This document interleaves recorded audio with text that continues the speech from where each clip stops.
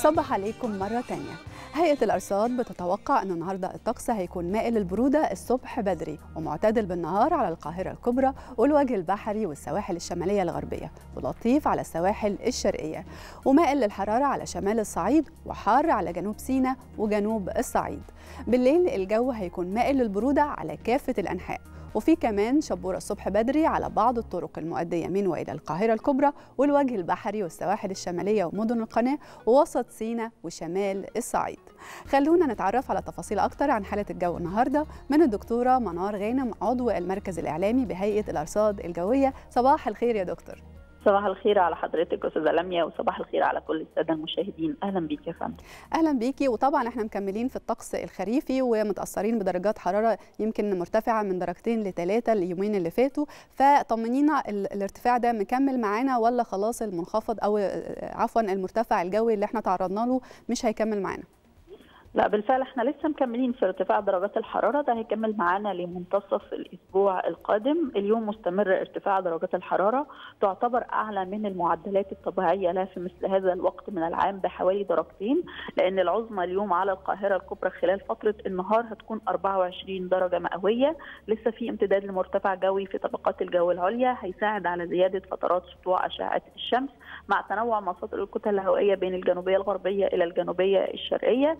هنحس بالارتفاع الطفيف في درجات الحرارة. هنبدأ فترات اليوم بالأجواء المائلة للبرودة خلال فترات الصباح الباكر. مع تقدم ساعات النهار وسطوع اشعه الشمس هتبدأ الأجواء تكون أجواء معتدلة تماما على أغلب المناطق الشمالية السواحل الشمالية محافظات الوجه البحري القاهرة الكبرى. أجواء مائلة للحرارة على محافظات شمال الصعيد حارة على جنوب الصعيد وجنوب سيناء خلال فترات النهار.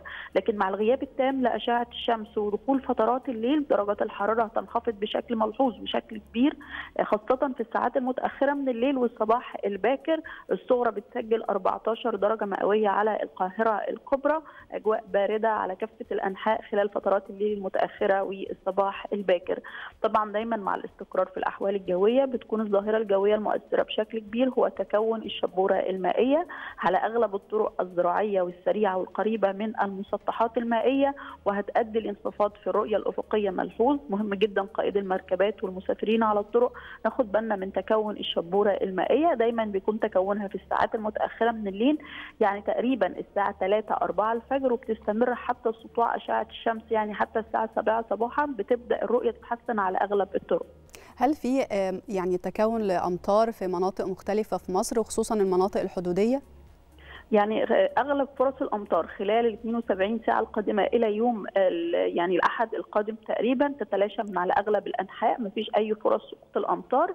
حتى عودة سقوط الأمطار مع يوم الأحد مش هتأثر تماما على أعمال الأنشطة اليومية. المرتفع الجوي اللي موجود معانا في طبقات الجو العليا بيعمل على تلاشي وتلاشي السحب من أغلب المناطق فما فيش أي فرص لسقوط الأمطار. لكن مع يوم يعني إن شاء الله متوقع مع يوم الأحد القادم يكون في نشاط رياح في أقصى غرب البلاد هيكون مثير لبعض بعض الرمال والأتربة في غرب البلاد وده بدوره هيؤدي لأتربة عالقة خلال يوم الأحد القادم إن شاء الله على المناطق الموجودة في الوجه البحري والقاهرة الكبرى. فده نقدر نحذر منه دلوقتي. لكن فرص الأمطار زي ما قلنا تلاشت من من على أغلب مناطق الجمهورية. بشكرك في النهاية. شكرا جزيلا. الدكتورة منار غانم عضو المركز الإعلامي بهيئة الأرصاد الجوية. ودلوقتي تعالوا نتابع درجات الحرارة المتوقعة النهارده. وهنبدأ بالقاهرة. العظمى فيها 24 والصغرى 14 العاصمة الإدارية العظمى 24 والصغرى 13 اسكندرية 24 13 العلمين الجديدة 24 12 مطروح 24 13 دمياط 23 13 بورسعيد 22 14 الإسماعيلية 24 12 السويس العظمى فيها 24 والصغرى 13 العريش 22 12 كاترين 18 5 طابة 21 14 حلايب 25 19 شلاتين 28 18 شرم الشيخ 26 18 الغردقة 26 15 الفيوم العظمى فيها 24 والصغرى 13 بني سويف 25 12 الوادي الجديد 27 10 أسيوط 25 9 سوهاج 25 10 قنا 27 10 الأقصر 28 9 وأخيرا أسوان العظمى فيها 27 والصغرى 12 ودي كانت مشاهدينا حالة الجو النهارده وكمان درجات الحرارة المتوقعة. ناخد بالنا إن في شبورة الصبح بدري على الطريق نراعي الالتزامات المرورية عشان نوصل أشغالنا ومصالحنا بألف سلامة. نرجع مرة تانية لمصطفى بسنت نكمل معاهم باقي فقرات صباح الخير يا مصر. شكرا, شكرا. ليك يا لميا.